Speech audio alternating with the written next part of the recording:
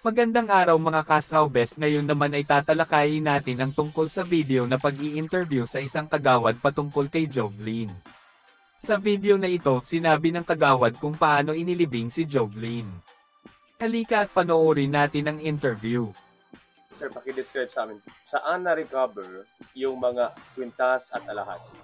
Ah, na-recover po to siya sir sa uh, Purok Pulang Lupa, Barangay Santa Lourdes. Ah, doon po sa area na sa bahay niya mismo. Ah, siguro ang ang layo sa bahay niya ay almost mga 20 meters lang.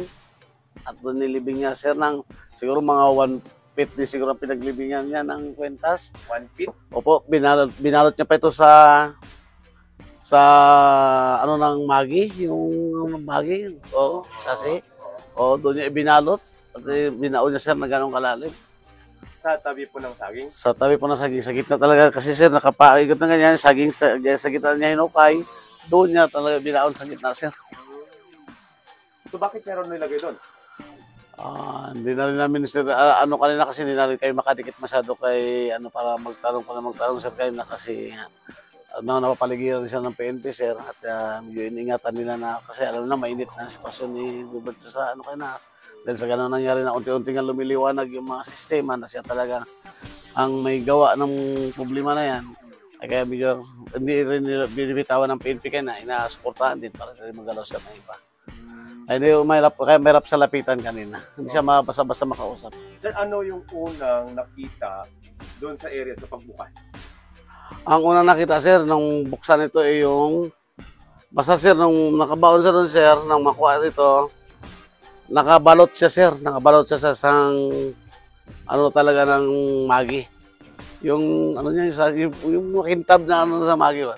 Doon siya nakabalot, sir. Na, yun ang binuksan ng taga ang suko. Oo. Ang pinakita.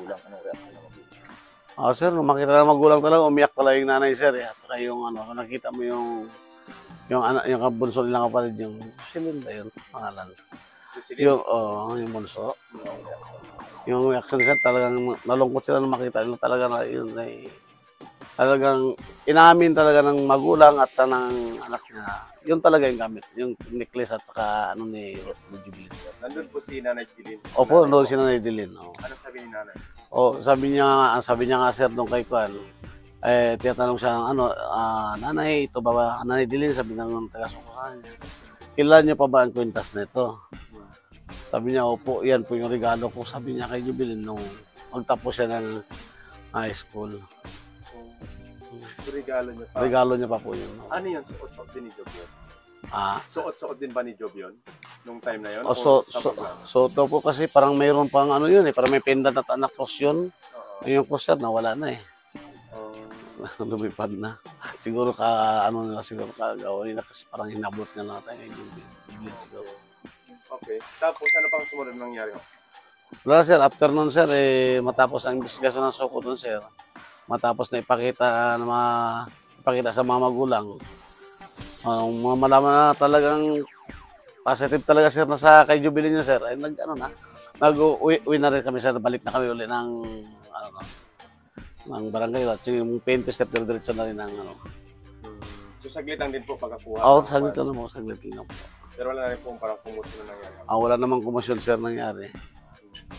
Okay. Oh, nakita rin natin, nakita lang natin talaga sir, nandun yung pagdadala natin ng mga magulang at saka nung side din ng kami ni Jobert kasi nga sa nangyari na gano'n na talagang si Jobert talaga na pag ano na naipit na diyan. Mm. Nandun nakikita natin yung mga part, ang mga ano mga magulang nila. Talagang nalulungkot sila sa nangyari. Oo.